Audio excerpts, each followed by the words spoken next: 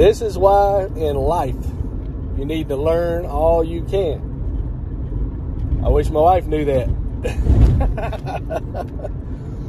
yeah. So um, I've had flex spending accounts.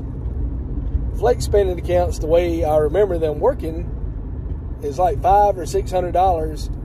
You can transfer over to the next year. So, say if you put two thousand dollars on your card for flex, and you only spent fourteen hundred or say fifteen hundred, that six or five hundred dollars you could transfer to the next year, and you would just lower your flexible upload on your flex card. So you know you had to spend that you know so no, normally people the only reason to do it is aggravating it depends on what flex covers sometimes it covers like blood pressure medicine your medicine supplies um, you know doctor visits. So say if you was going to have a major surgery and it costs $1500 you would have $1500 deducted through your paycheck and it'd come out before taxes, so you could pay for your medical tax tax free with that money. Well, with a uh, health savings account, you do the same thing, but if you have a lot of money in there, you can invest it in the stock market, you know, which probably ain't gonna do any good, but you can invest once you reach a certain limit, and you can use it to pay for your once you turn 65 or 67, whatever your Social Security full retirement age is, um, where you get Medicare, I believe, you can pay your 200 something dollar a month Medicare payment. I don't know if it includes part A, B, C, D, or whatever. You know, there's certain things about prescriptions and all. This ain't medical advice, but just kind of what I understand a little bit. You know, there's a little bit to it. But you can use that health savings account to pay for those things. You're not supposed to use it for like restaurants or you know anything like that, but you can use it for like uh, incon- supplies. Somebody you know has to go to the bathroom or medical supplies, and um, you can't use it on some things like you can a flex account, but you can use it like I hadn't worked there since November at my job that had this account, and I still got 2000 on it. And um, that's how we've been buying our medicine. But today, my wife tried to use it. And she called me all upset. This is why you need to know everything.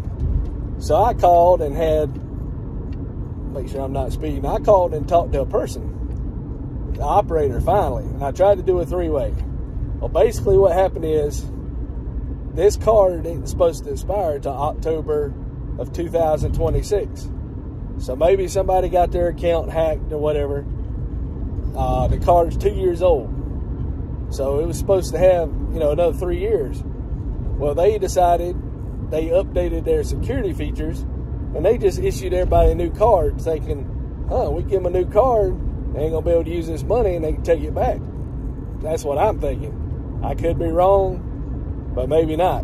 Because, you know, with these cards issued all these um, the, all these little cards you can get that you can buy somewhere else. You don't use them; they only last so long. That's like free money, and they got that money tax free, and they're getting rich on you not fulfilling your gift cards. So it's probably the same principle. You know, any way they can screw you over or somehow get rich, they gonna do it. That's why they rich. Well, anyway, so I finally got a hold of her, and I had to take off work because here I am trying to work, even though it's slow today, and trying to find out what's going on. And there's like a 25 minute wait. So I'm calling, and the lady says, you know, hey, by the way, your card has um, been deactivated. We sent you a new card back in June. Well, my son puts his hands in the mailbox so a lot of stuff he probably thinks is his mail. They check the mail and they don't put it in the same area. So it's frustrating as all you know what. And then I ain't took my uh, metformin, so I'm feeling a little funky, a little spunky, you know. So uh,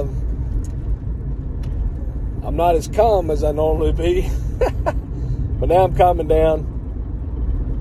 so anyway, yeah, they're gonna send me a new card, but I gotta pay for the medicine now. And they said I could send it to have it knocked off what I owe. But yeah, it's just it's just frustrating. Frustrating to do it. And you gotta stay on top of everything. Like you can't be like you um well, my parents, so probably your grandparents if you're younger than me. But if you're 40s and 50s, it'd be your parents. You can't be like your parents with a VCR, stayed on 12 all the time. You got to know how to program the VCR and adapt to all this technology. It's not hard, it's user friendly, but just getting used to the technology so you can be user friendly. You know, I started driving these cars that are push buttons. You know, and then they got a little a little push button to release the brake. It's not bad, but if you don't know where all that stuff is, it gets you. Some cars want you to have your seatbelt in before you can move them. It's crazy. But yeah, it's uh, best to stay informed on new technology and just general dealing with business. And my wife, bless her soul, she does the best she can, but something don't work sirens going and everything else. Baby, take care of it for me. All right. So I handle all the business because uh, she don't understand what they're saying and she just gets flustered. But I love her anyway. She ain't gonna change. but I was like, hey, you're up there. I'm at work. Why don't you call him? Well, I'm got. I need something to eat. I'm with my buddy. We're going to eat. My sugar dropping. You come up here and take care of it.